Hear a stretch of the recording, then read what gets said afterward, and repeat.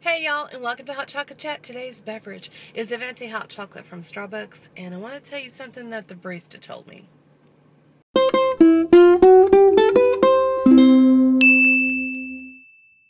It didn't happen today, but I saw him today, so it reminded me of what he said the other day, so I had to share with y'all.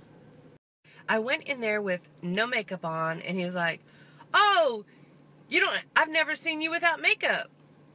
You still look beautiful. So I was like, Yeah, right. But seriously, I really do try to wear like minimal makeup. I'm not really like, well, I mean, I've got the red lips on today, but. But then I was thinking about it, and I do wear Special guest. I do wear a lot of products though, like I do my eyebrows, I do eyeshadow, I do mascara, blush, lipstick, foundation, so I guess it's not really a natural look. Is it, honey? You are natural.